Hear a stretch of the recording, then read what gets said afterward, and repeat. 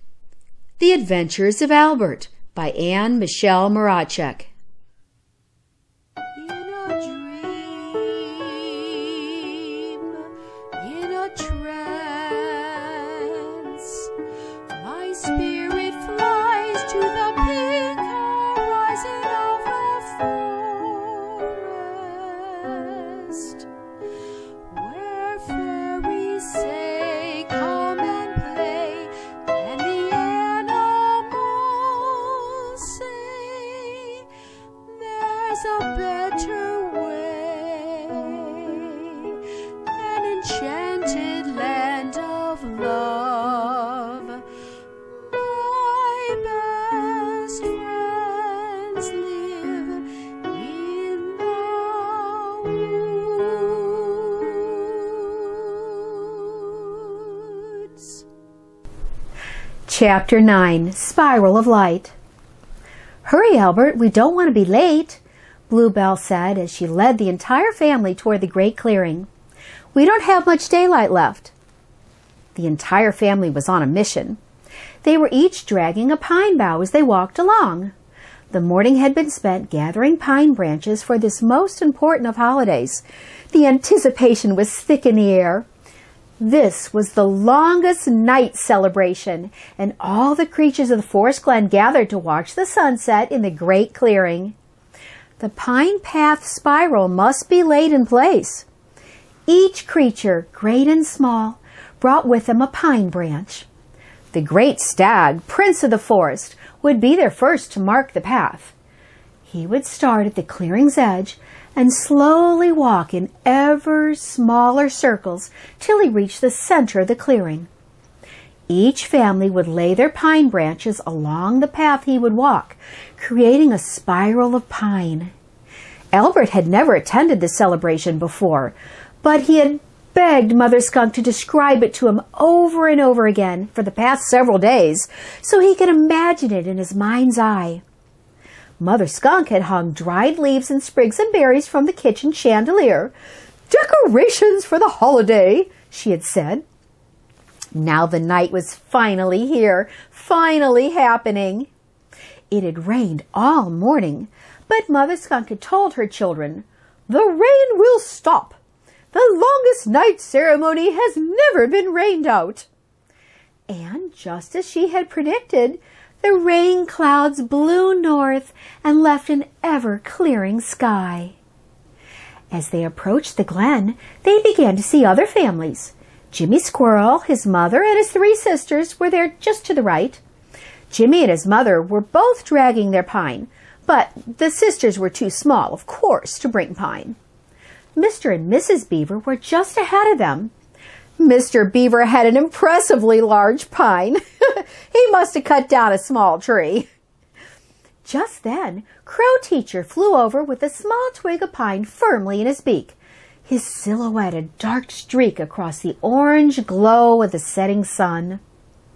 The few remaining clouds glowed a deepening pink and slowly turned to purple as a huge full moon rose into place to light the clearing. We will begin soon, Mother Skunk had told her children in a whisper. You would think, with all the creatures gathering, it would be a noisy, chattery chaos. But it was quite to the contrary. All the creatures were silent and serious for this solemn ceremony. Albert could hear the rustling of leaves and twigs all around the great clearing as others arrived and took their places. But in the dimming light, it was hard to see who was gathering there. Suddenly, Albert was aware of a silent shadow circling overhead. As he looked up, he saw the great horned owl making ever lower circles, descending until he landed in the center of the glen. He carried in his beak a lit candle which he placed in a wooden stand that was there waiting to receive it. Oh, bow, the owl said in a loud, clear voice. Who? The prince of the forest approaches. Mother Skunk and Bluebell held forward their hands with palms down and bowed their heads. Mother Skunk whispered to her children, Everyone do as I do. So Albert and all his skunk siblings did the same. A stomping of hooves and a snort, and then the great stag, prince of the forest, stepped out from the edge of the clearing. He had only been a few paces away, but Albert hadn't seen him until now.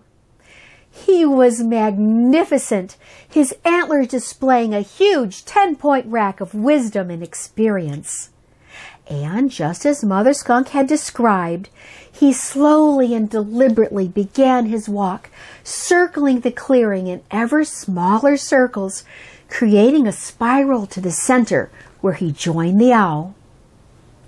This is the longest night of the year, the prince began.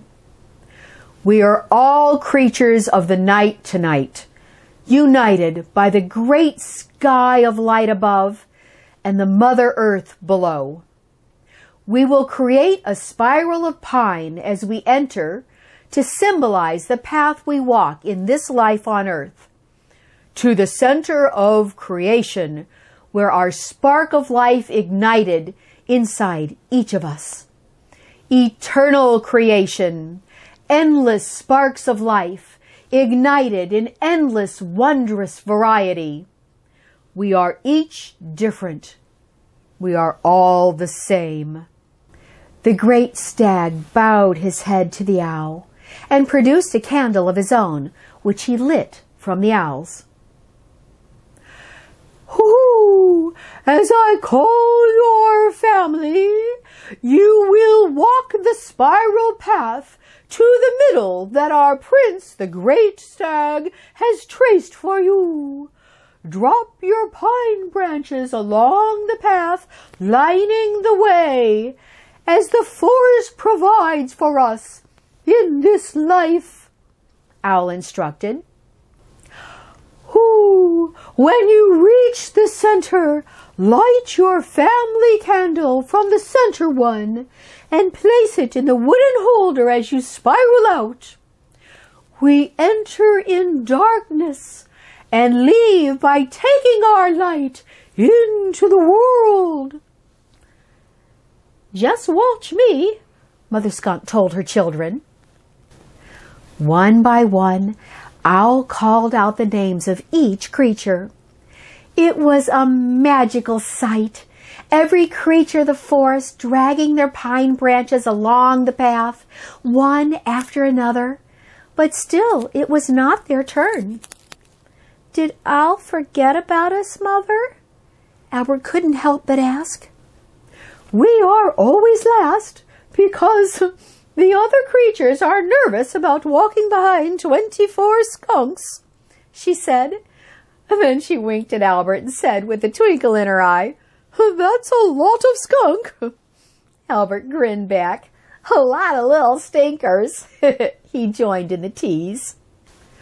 Who, the skunk family will come forward, Owl said.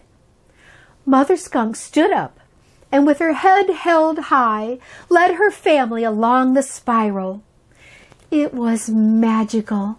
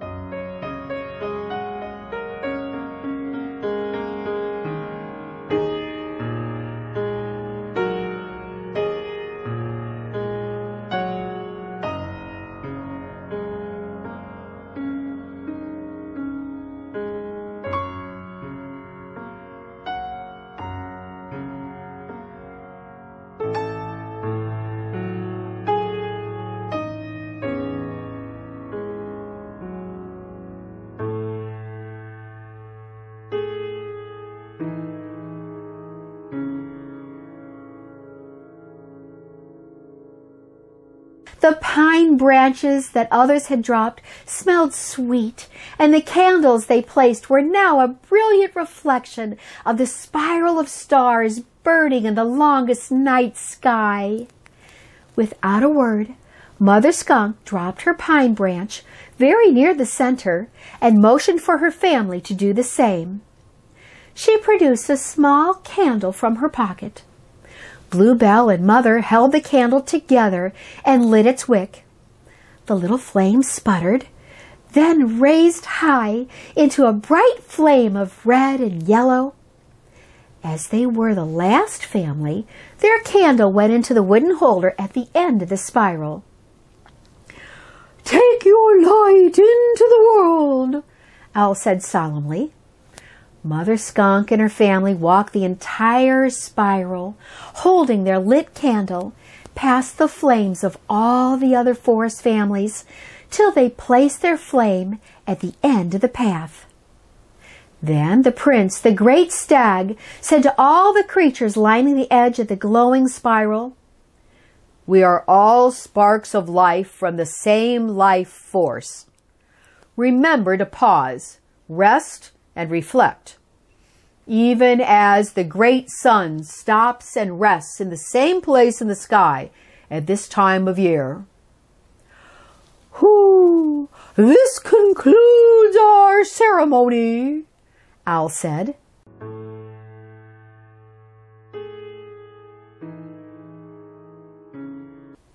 We will all gather for hot chocolate around the bonfire on the sandbank at the river bend. A great cheer rose up from all the creatures. Happy longest night! They greeted each other with joyous smiles and hugs all around. Oh, Mother, this is a magical night, Albert said. Yes, indeed, smiled Mother Skunk. Now let's join the party. Mother Skunk clapped her hands with glee. Albert had never seen her so happy. The bonfire was jolly warm, and the cups of cocoa flowed. There was much happy chatter, and the little ones laughed and ran about. They danced around the fire, holding hands and singing the longest night song. Spiral candles burning bright, just like stars that glow at night. All are one all are blessed. All tonight will pause and rest.